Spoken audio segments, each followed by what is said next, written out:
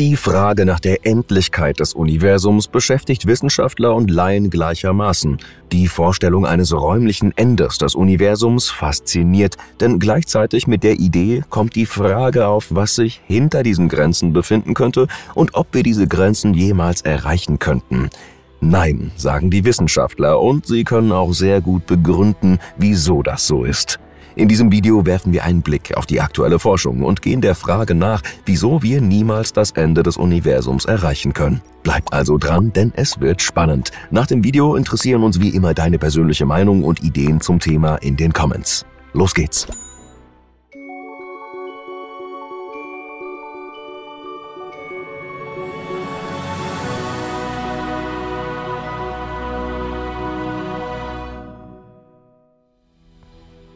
Wieso wir niemals das Ende des Universums erreichen können.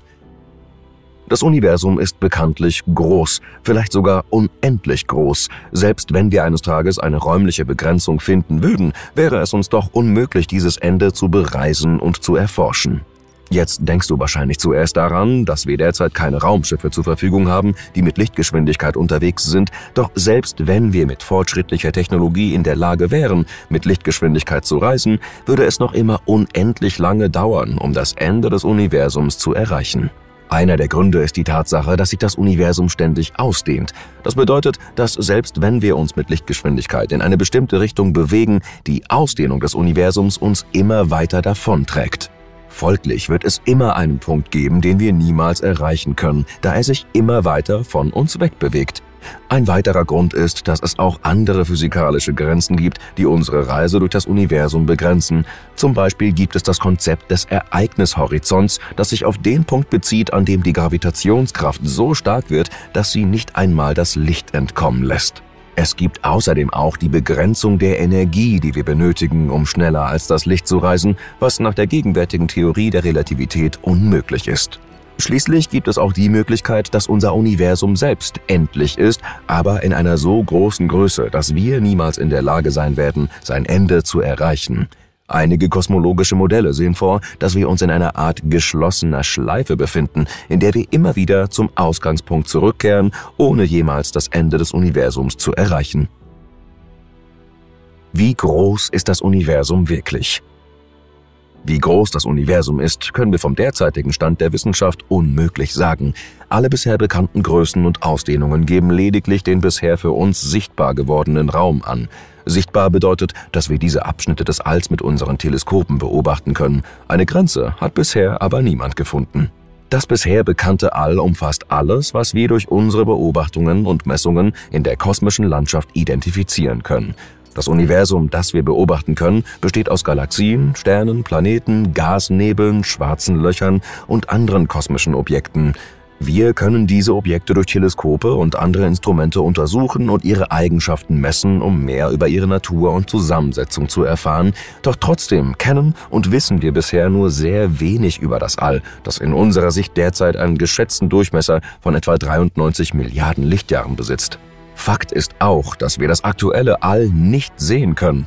Wir müssen bedenken, dass das Licht, das nach vielen Jahren auf die Spiegel der Teleskope trifft, und manchmal sind es Hunderttausende oder Milliarden Jahren, aus der Vergangenheit stammt. Schauen wir ins All, sehen wir, wo sich die Himmelskörper vor einigen oder auch Millionen Jahren befunden haben. Wir sehen aber keinen aktuellen Abdruck. Natürlich können Astronomen anhand von Computerprogrammen berechnen, wo sich Sterne und Galaxien heute tatsächlich befinden, doch sehen können wir diese Objekte immer nur in der Vergangenheit. Das macht es natürlich auch schwer, ein aktuelles Ende zu finden, doch auch hier kommen die Mathematik, Computer und andere im All beobachtbare Größen den Forscherinnen und Forschern zur Hilfe. Andere Werte, die wir auf der Erde beobachten können, sind die kosmische Hintergrundstrahlung sowie Gravitationswellen. Die große Unbekannte bei der Bestimmung der Größe des Alls und der Berechnung der Möglichkeit eines Endes oder auch eines Anfangs sind dunkle Materie und dunkle Energie. Beide machen etwa 85 Prozent des Kosmos aus, sind für uns aber nicht direkt beobachtbar, weil sie kein Licht abgeben und damit schlichtweg nicht sichtbar sind. Wir können aber ihre Auswirkungen auf die sichtbaren Objekte im Universum erkennen und ihre Wirkungen im Labor simulieren. Forscher gehen heute davon aus, dass das beobachtbare Universum eine Geschichte hat, die bis zum Urknall zurückreicht. Während des Urknalls wurde das Universum in einer enormen Explosion geboren und seitdem hat es sich vermutlich immer weiter ausgedehnt. Diesen Prozess der Ausdehnung verfolgen Wissenschaftler, doch auch hier ist bisher Fehlanzeige, wenn es um die Frage der Endlichkeit des Universums geht. Unendlich oder endlich? Trotz mangelnder Fakten haben Wissenschaftler zu beiden Möglichkeiten diverse Theorien und Modelle aufgestellt. Schon Einstein beschrieb die meisten heute bekannten Phänomene und Objekte im Kosmos in seiner allgemeinen Relativitätstheorie, ohne jemals solche Objekte gesehen zu haben. Er kam alleine aus der Logik der Mathematik und der Beobachtung bekannter physikalischer Kräfte darauf. Auf ähnliche Weise versuchen Wissenschaftler heute also auch der etwaigen Endlichkeit des Kosmos auf die Spur zu kommen. Albert Einstein sagte über die Unendlichkeit des Kosmos übrigens, Zwei Dinge sind unendlich, das Universum und die menschliche Dummheit, aber bei dem Universum bin ich mir noch nicht ganz sicher. Dummheit ist, wenn wir sie wohlwollend betrachten, nichts anderes als die Abwesenheit von Wissen und genau hier möchten Astronomen und Kosmologen nicht warten, bis wir sicher von einem Ende oder einer Unendlichkeit wissen. Sie gehen der Frage einmal mehr von der mathematisch-theoretischen Seite nach. Messungen der kosmischen Hintergrundstrahlung weisen beispielsweise auf eine flache Geometrie des Universums hin. Daraus schlussfolgern einige Modelle, dass das Universum unendlich sein könnte. Auch Beobachtungen von Galaxien, Clustern und der Verteilung von Galaxien im Universum deuten darauf hin, dass das Universum sehr groß bis unendlich sein könnte. Eine weitere, sehr interessante Theorie ist das Konzept eines geschlossenen Universums, das trotzdem unendlich erscheint. Der Donut oder das Torsionenall. Ein solches All könnte die Form eines Torsionenfeldes oder eines donutähnlichen Ringes besitzen. Wir, die wir uns im Inneren befinden, könnten theoretisch immer im Kreis schauen oder gegen die Begrenzungen fliegen. Trotzdem würden uns die physikalischen Besonderheiten innerhalb dieses Kosmos Unendlichkeit vorgaukeln. Eine Reise zum Ende wäre also auch hier selbst mit den besten Technologien und den schnellsten Raumschiffen praktisch nicht möglich. Das Blasenuniversum die spekulative Theorie des Blasen- oder Bubble-Universums geht davon aus, dass es mehrere Universen gibt, die nebeneinander existieren und sich möglicherweise berühren oder sogar miteinander verschmelzen könnten. In diesem Modell wäre jedes Universum begrenzt, aber die Gesamtzahl der Universen könnte ebenso unendlich sein wie der Raum, in dem sich diese Blasen befinden. Übergänge in andere Universen obwohl es derzeit keine direkten Beobachtungen von anderen Dimensionen oder Universen gibt, gibt es einige Theorien und Hinweise, die darauf hindeuten, dass sie möglicherweise existieren könnten. Die String Theory besagt, dass die fundamentalen Bausteine des Universums nicht Teilchen, sondern winzige Strings sind, die in bis zu elf Dimensionen existieren könnten, von denen wir jedoch nur vier wahrnehmen können. Drei räumliche Dimensionen und eine Zeitdimension. Die String Theory besagt auch, dass es möglicherweise parallele Universen gibt, die in anderen Dimensionen existieren. Ein weiteres Konzept ist das der versteckten oder faltigen Dimensionen. Diese Theorie besagt, dass es zusätzliche räumliche Dimensionen geben könnte, die so klein sind, dass sie für uns nicht wahrnehmbar sind, da sie sich in sich selbst gefaltet haben. Es gibt auch Hinweise auf die Existenz von Paralleluniversen oder dem Multiversum, die in Voids oder großen Leerebereichen im Universum aufgespürt wurden. Es handelt sich dabei um große Bereiche im Universum, in denen es nur wenige Galaxien und Sternsysteme gibt. Kosmische Voids könnten das Ergebnis der Kollision von zwei Welten sein. In diesem Szenario würden zwei Galaxienhaufen kollidieren und sich durch den Zusammenstoß gegenseitig zerstören, wodurch ein leerer Bereich im Universum entsteht. Diese Theorie wird auch als Kollisionalvoid bezeichnet. Ein weiterer Hinweis auf die Kollision zweier Welten kann durch die Untersuchung der Verteilung von dunkler Materie in kosmischen Voids gefunden werden. Dunkle Materie ist eine unsichtbare Art von Materie, die einen Großteil des Universums ausmacht und eine wichtige Rolle bei der Entstehung von Galaxien und Sternsystemen spielt.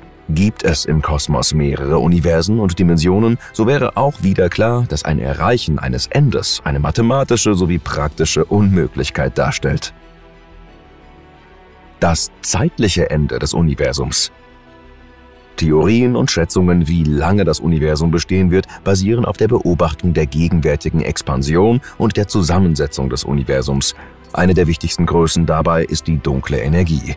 Diese soll für die beschleunigte Expansion des Universums verantwortlich sein und es wird erwartet, dass sie im Laufe der Zeit zunehmen wird. Und dies könnte dazu führen, dass das Universum immer schneller expandiert, bis die Entfernungen zwischen Galaxien so groß sind, dass sie nicht mehr miteinander interagieren können. In diesem Szenario wird das Universum in einer kalten Dunkelheit erstarren, die es praktisch unendlich machen würde. Eine andere wichtige Theorie ist die der großen Vereinheitlichung. Diese Theorie besagt, dass alle fundamentalen Kräfte des Universums bei sehr hohen Energien vereinheitlicht waren. Wenn diese Kräfte jedoch bei niedrigeren Energien getrennt wurden, könnte dies dazu führen, dass die Protonen in den Atomkernen zerfallen, was das Ende der Materie im Universum bedeuten würde. In diesem Szenario würde das Universum irgendwann zerfallen.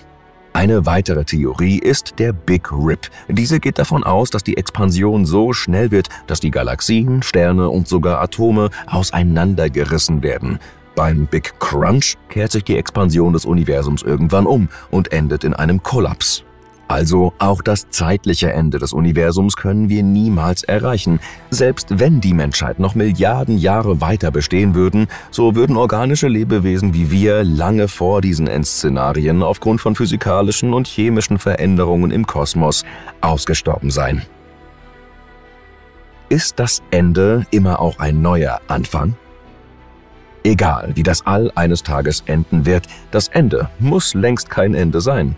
Im Gegenteil, Immer mehr Hinweise sprechen dafür, dass bereits vor unserem Universum ein anderes bestanden hat und dieses hat in seinen letzten Zügen bereits Geburtshilfe für unser aktuelles Universum geleistet.